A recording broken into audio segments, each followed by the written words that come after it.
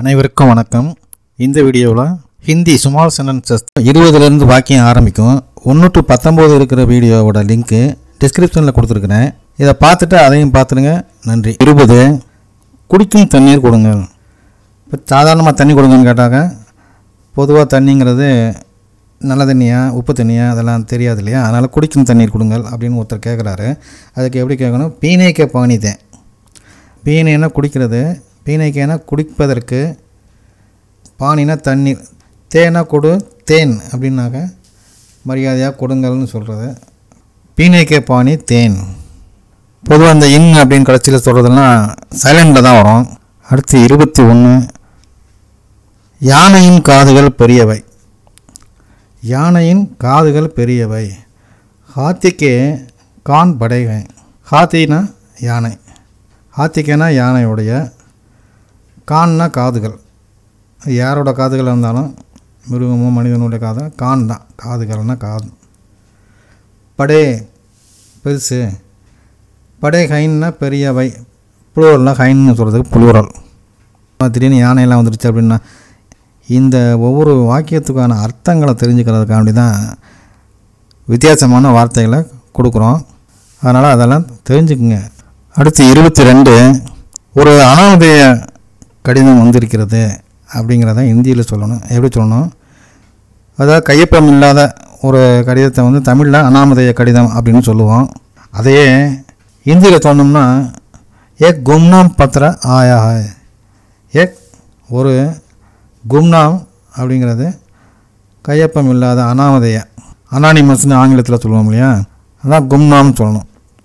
பத்திர கடிதம் பத்திரனா கடிதம் கத்துனாலும் கடிதம் தான் ஆயானா வ வர்றது ஹைனா இருக்கிறது வந்து இருக்கிறது வந்து உள்ளது. கும்னாம்னு ஒரு படம் கூட இந்தியில் வந்திருந்தது முன்னாடி. அடுத்து இருபத்தி மூணு முடிந்து விட்டது அப்படிங்கிறத ஹிந்தியில் கதம் ஹோகையா அப்படின்னு சொல்கிறாங்க கதம் ஹோகையா. இப்போ ரஜினி கூட ஒரு படத்தில் சொல்லுவார் கதம் கதம் அப்படின்னு சொல்லி. முடிஞ்சிருச்சு முடிஞ்சிருச்சு அப்படின்னு. கதம் ஹோகையா அப்படின்னா கதம்னா முடிகிறது ஹோகையானா முடிந்து விட்டது அப்படின்னு சொல்கிறோம் போயிடுச்சு வந்துருச்சு இருந்துருச்சு அப்படின்னு சொல்கிறதுக்கு அந்த ஹோகையா அதுக்கு? கதம் ஹோகையானா முடிந்து விட்டது அப்படின்னு சொல்கிறதுக்கு கதம் ஹோகையான்னு சொல்லணும். அடுத்து இருபத்தி நான்கு நாளை சந்திப்போம். இப்போ ரெண்டு நண்பர்கள் சந்திச்சுக்கிறாங்க ரொம்ப நேரம் பேசிட்டாங்க.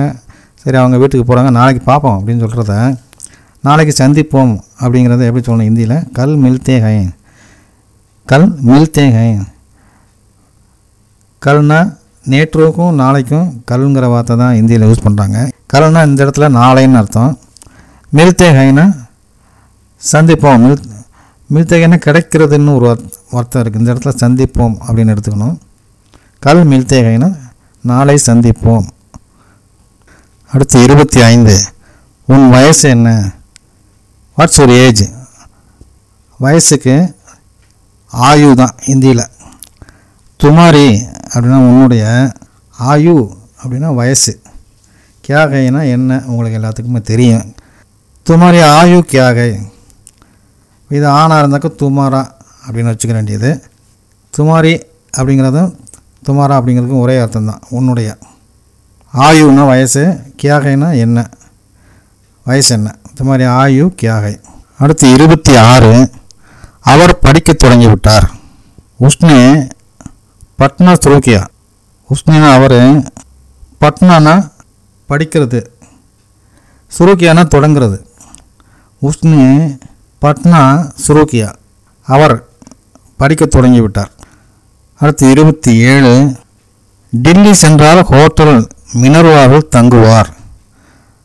உங்கள் நிறுவனத்தோட உரிமையாளர் டெல்லியில் எங்கே தங்குவார்னு ஒருத்தர் கேட்குறாரு டெல்லி சென்றால் ஹோட்டல் மினர்வாவில் தங்குவார் அப்படின்னு ஹிந்தியில் சொல்லணும்னா अगर दिल्ली जाएंगे மினர்வா லாட்ஜ் மே தகரேங்க அகர் தில்லி ஜாயங்க டெல்லிக்கு போனால் அல்லது சென்றால் அப்படின்னு சொல்கிறதுக்கு அகருங்கிற வார்த்தையை முதல்ல போடணும் அகர் தில்லி ஜாயங்க அவர் தில்லிக்கு சென்றால் மினர்வா லாட்ஜ் மே மினர்வா லாட்ஜில் தகரேங்கன்னா தங்குவார் ஃபியூச்சர் டென்ஸ் தகரேங்க தங்குவார் அடுத்து இருபத்தி எட்டு நான் இங்கு வாரம் ஒரு முறை வருவேன்.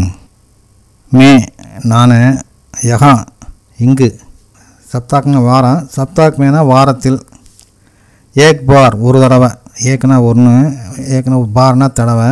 ஆத்தாகும் வருவேன்.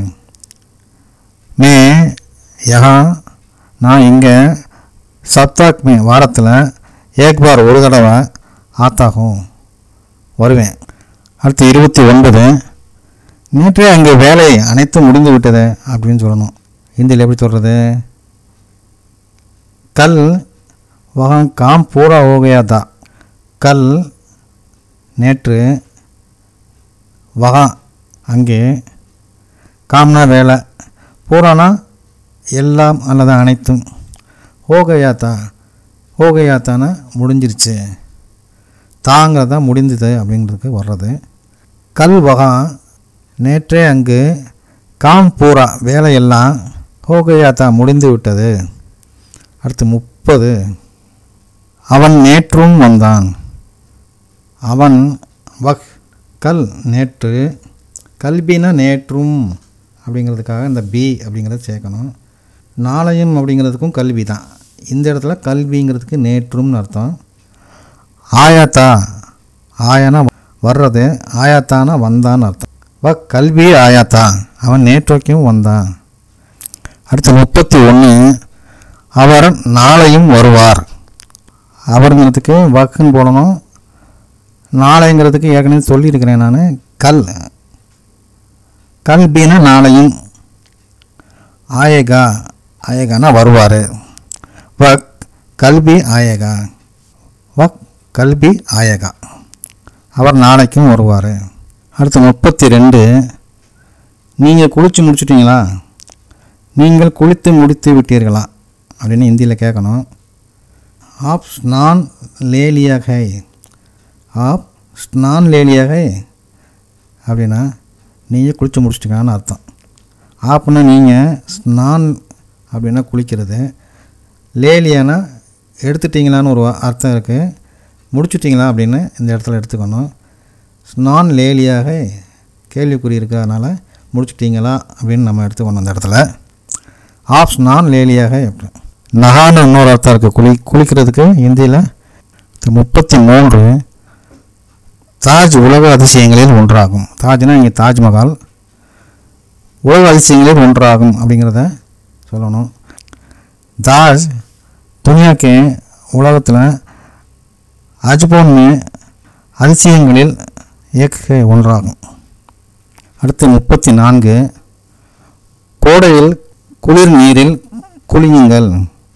கர்மியான்மே கர்மியான கோடையில் தண்டே பானி தண்டேன குளிர்ச்சி தண்டே குளிர் நீரில் தண்டே பானி நகாயே.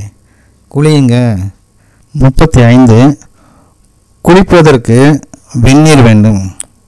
நகா கேலியே குளிப்பதற்காக கரம் பானி சாயே. கரம்னா சூடான பானினா தண்ணீர் உங்களுக்கு தெரியும். கரம் பானினா சூடான தண்ணீர். இந்த இடத்துல வெந்நீர். சாயினா வேண்டும். நகா கேலியே குளிப்பதற்காக கரம் பானி சாயே. வெந்நீர் வேண்டும் அல்லது சூடான நீர் வேண்டும். ஒரு லாட்ஜில் இருக்கிறோம். கேட்பதற்கு இந்த வார்த்தை உதவும். முப்பத்தி ஆறு. ஒரு வீட்டில் நீண்ட பாம்பு பிடிக்கப்பட்டது அப்படின்னு செய்தி வருது. அதை எப்படி சொல்லணும்னா ஒரு செய்தி இல்லையா? ஒருத்தர் சொல்கிறாரு அதை நம்ம புரிஞ்சுக்கணும்னா எப்படி புரிஞ்சுக்கிறது? ஏ கர்மே லம்பா சாம் பக்கடா கயா. பக்கடா கயானா பிடிச்சாச்சு பிடிக்கப்பட்டது. ஏக் கர்மே ஏக் ஒன்று கர்னா வீடு கர்மேனா வீட்டில் லம்பான நீளமான. சாம்புனா பாம்பு பகடா கயானா பிடிக்கப்பட்டது. பக்கடா கயா. ஏ கர்மே லம்பா சாம் பக்கடா கயா. நீளமான பாம்பு பிடிக்கப்பட்டது. இந்த வார்த்தைகளை உபயோகித்து வேறு மாதிரி வார்த்தைகளை போட்டு எழுதி பார்க்கலாம் அல்லது சொல்லி பார்க்கலாம். அதுக்காக இந்த மாதிரி வார்த்தைகளை சொல்கிறது தான் இதை பார்த்து கொண்டிருக்கும் அனைவருக்கும் மிக்க நன்றி. தவறாமல் மறக்காமல் தயவு செய்து சப்ஸ்கிரைப் பண்ணிடுங்க அப்போ தான் எனக்கு அடுத்தடுத்து வீடியோ போடுறதுக்கு உற்சாகமாக இருக்கும்.